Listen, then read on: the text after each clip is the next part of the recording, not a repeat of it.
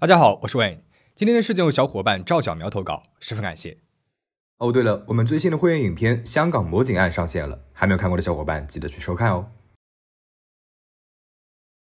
相信有很多人都看过《猫鼠游戏》这部电影。这部影片中，由小李子饰演的主人公，通过伪造支票骗取现金，假冒飞行员的身份，乘坐高级飞机出入高级酒店，利用伪造的哈佛医学院学位证书，在乔治亚州的一所医院当起了急诊大夫。剧中主人公高超的骗术和瞒天过海的本领，直到今天都为人所津津乐道。而在中国，也有这样一个案件，堪称是中国版的《猫鼠游戏》。作案人是至今唯一一个两次登上了《今日说法》栏目的人。虽然是初中学历，却凭借着本事成为了不同公司的高管，几十万的年薪都不放在眼里，非要携巨款潜逃。被抓之后，赃款竟然还多了六十万，这究竟是怎么一回事呢？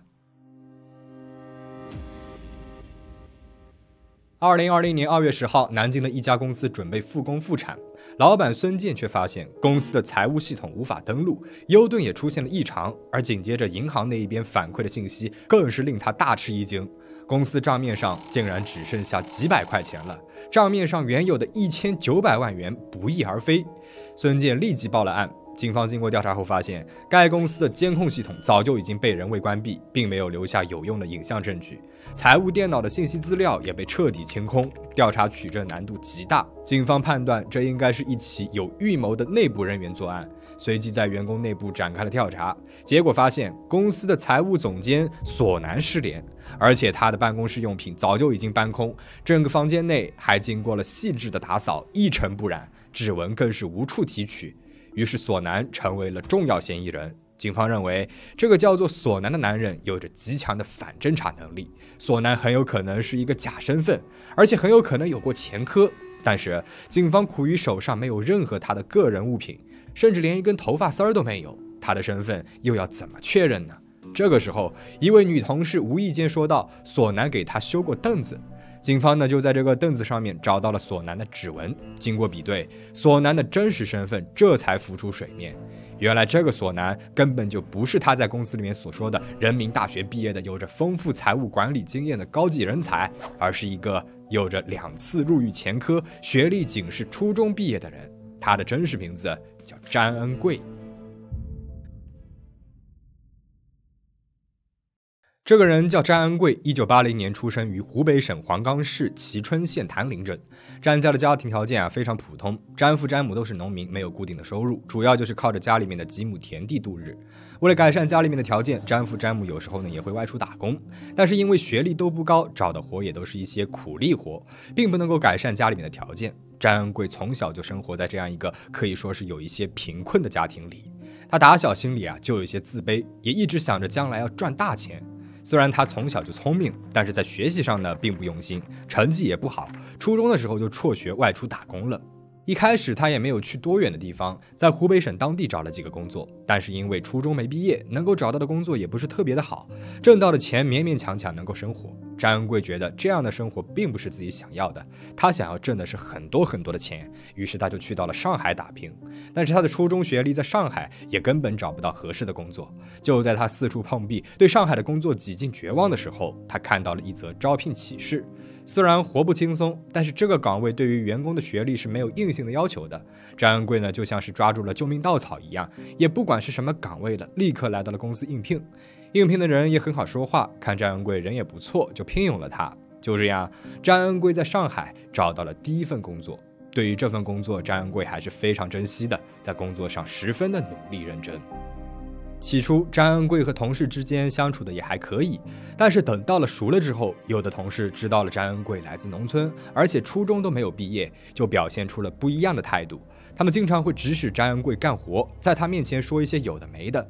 有个别的同事呢，还会拿他的学历来开玩笑。虽然张恩贵当时并没有表现出来，但他一直在心里暗暗记恨着那个开玩笑的同事，想着总有一天要他好看。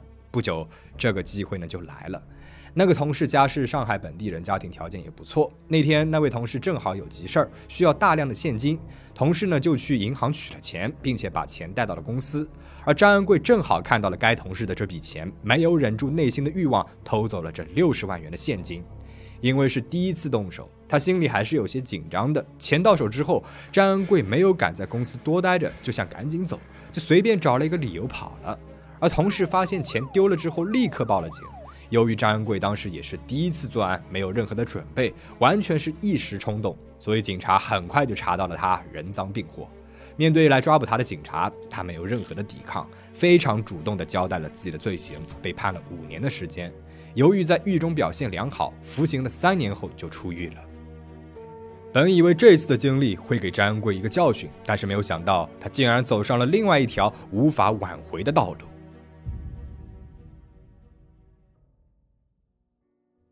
二零零九年，张恩贵出狱之后就开始找工作了，但是由于学历不高，并且已经有了案底，大部分的公司在查明身份之后都拒绝了他。四处碰壁的张恩贵开始动起了歪脑筋：既然自己的人生已经有了污点，那换一个干净的人生不就好了吗？二零一一年五月份，张恩贵用五百块钱购买了一整套的假证，包括身份证、户口本和毕业证等。他摇身一变，成为了云南财经大学的本科毕业生肖立瑞，成功的应聘到了国企单位四川巴南高速第五河段项目部的出纳岗位。除了学历、姓名是假的，他还给自己塑造成了一个来基层体验生活的富二代形象，对外界介绍自己家里的父母啊是做一点小生意的，开了一个小公司，自己出来打工主要是积累一下社会经验，到时候还是要回去继承家产。他对同事们呢也很大方，会主动的请同事们吃饭，给同事展示自己的奔驰车钥匙。虽然那辆奔驰车从来都没有人见到过，凭借着认真的工作态度和圆滑的为人，这位叫肖立瑞的同事很快赢得了同事们的一致好评和信任。在单位工作四个月之后，张恩贵已经把公司的信息的账户情况都摸清楚了。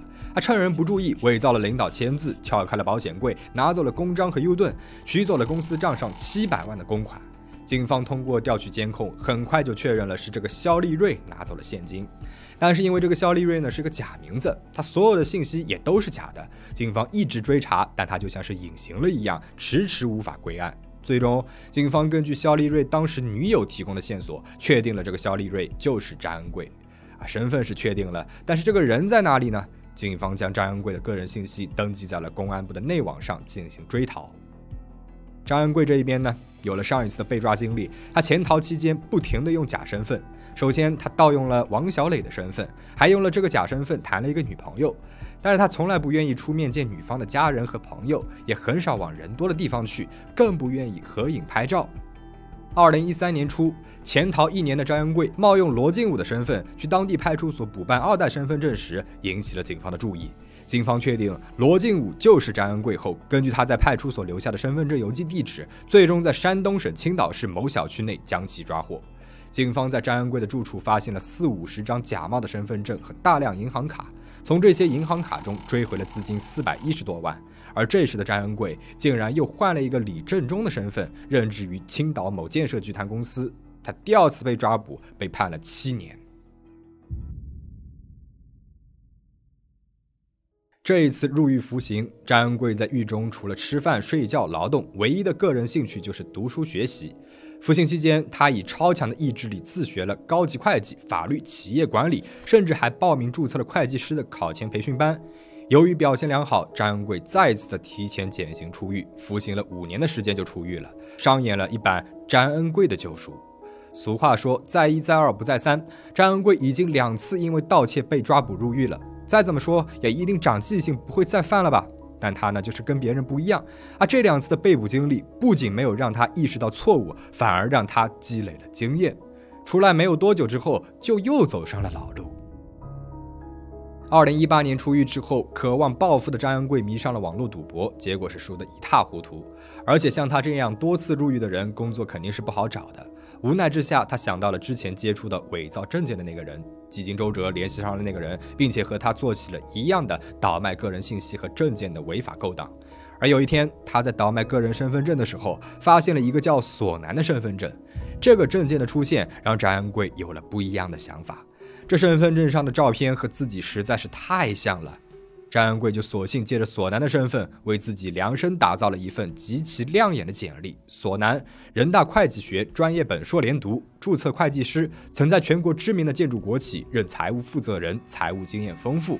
很快，亮眼的简历让他收到了好几家大型企业的面试通知单，多家大企业对他都很满意。但是却都卡在了最后的证书查验环节。终于，在无数次的入职失败之后，他迎来了机会。一家位于南京的公司，由于业务的增长，急需用人，而面试的主考官就是老板本人孙健。孙健亲自面试了张恩贵，在面试的过程当中，张恩贵对于税务、法律、投资等方面的知识是表现的十分专业。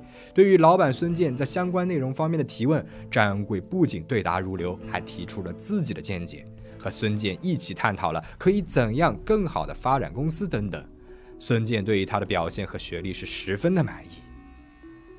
为了应付入职的背景审查，张恩贵给自己编了一个家庭背景：父亲早亡，母亲在南京经营奢侈品，还安排人冒充了自己的母亲和前公司领导，应付了公司的入职审查。关于注册会计证书，他则表示证书还挂靠在上一家公司上，因为上一家公司已经准备上市了，所以暂时不方便转出来。因此，现在的公司也不用帮他交社保，因为这样帮公司节省了社保等费用，公司也就没有细究。这家公司有一项没有做到位的，就是学历审查。不过张恩贵是广泛投了很多公司，投了多了，那遇到一家有疏忽的也很正常。而另外一方面，面对受到老板本人大力赞扬的人，审核人员也不由得放松了警惕。于是就这样，未经证书查验的索南顺利入职，成为了公司的中层干部，月薪两万。张恩贵进入公司之后，工作认真努力，和同事也很快就熟悉了起来。化名为索南的他，在公司一直以南京土著富二代自居，说他的母亲在南京的市中心新街口有一个奢侈品专柜，在那里还有一套豪宅。但是其实啊，他住的地方距离新街口有一个小时的车程。入职之后，他经常给同事带小礼物，有的时候呢给女同事一瓶迪奥香水，有的时候给男同事一支蔻驰的票夹，以此来拉拢人心。有热心同事提出要顺路载他上下班，他为了不让同事起疑，每天雷打不动五点起床，挤地铁到新街口下车，再装作若无其事的从附近的小区出来，搭同事的顺风车，这样的来回跑圈，他坚持了八个月的时间。和同事混熟之后，他也会从同事的口中打听孙总信息。得知孙总爱打乒乓球后，他就报了一个学习班练球。不久，公司组建团建活动，张恩贵就和孙总来了一局。棋逢对手，孙总非常开心。之后周末，老板经常会叫上他一起打球。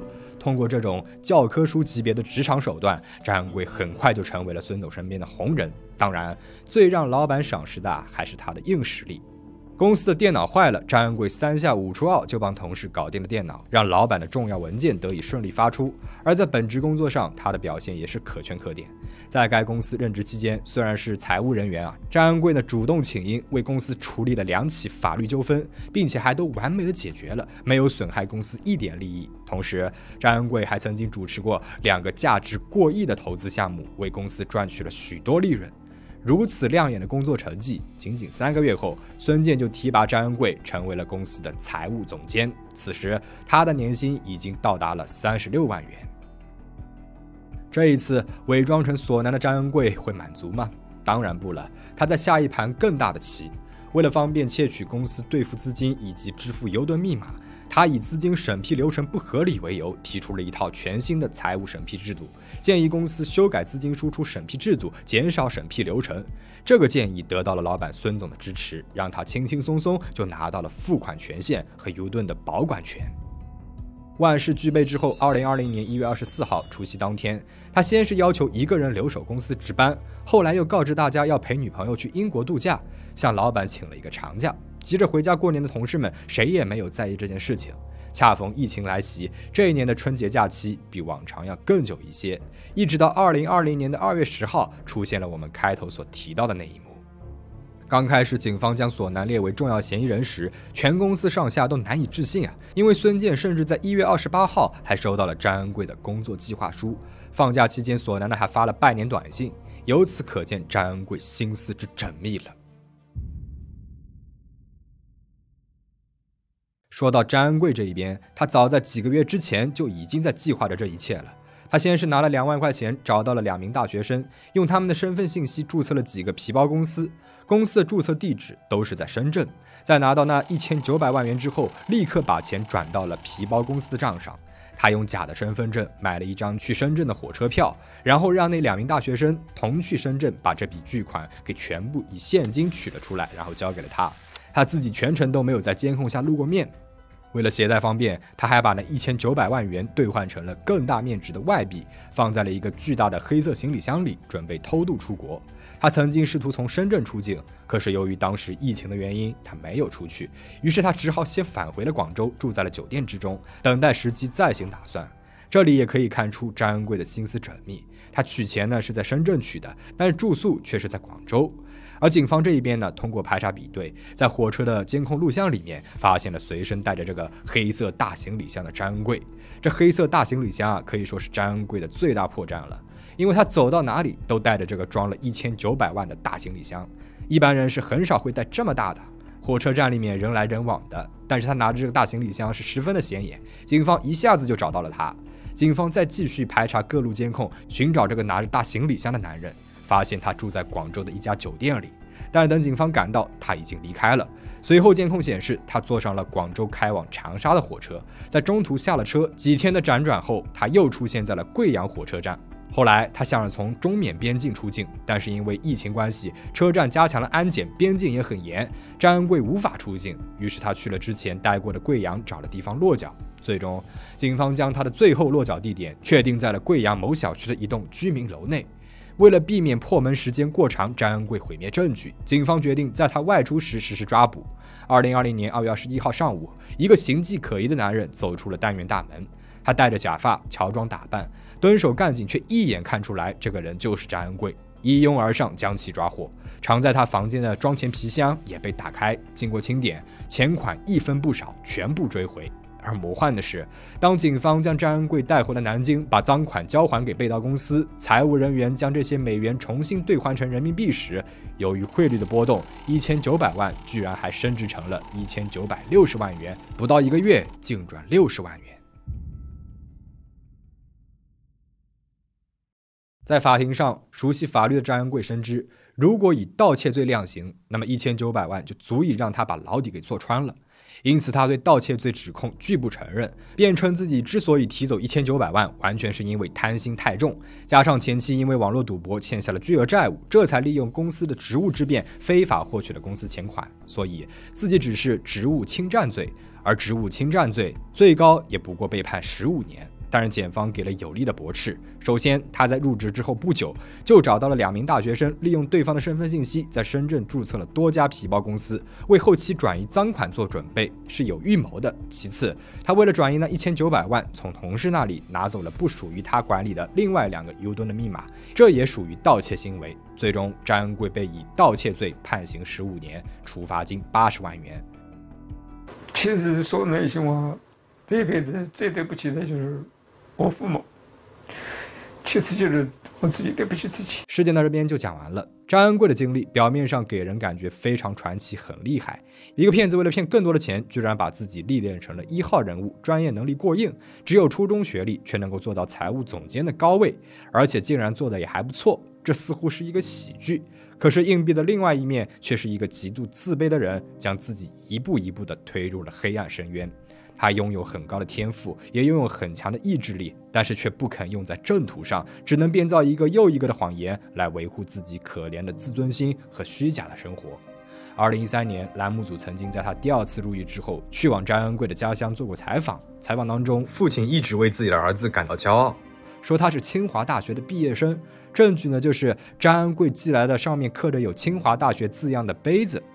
第二次被捕后，面对警察的审讯，他开始时坚称自己是浙江大学的毕业生，被戳破之后，才无奈对着审讯人员大吼道：“我是文盲，文盲好了吧？”浙江大学到底是怎么回事？那我文我文盲，好吧？李警官去学校查了，没有你这个分。我文盲。那你考的高考考了多少分啊？嗯，六百八，六百八十多分。六百八十多分。那你高考的作文是吗？小问题目啊？作文我忘了。你对这个故事有什么看法呢？欢迎留言讨论。最后，请大家保持警惕，保持安全。我们下期再见。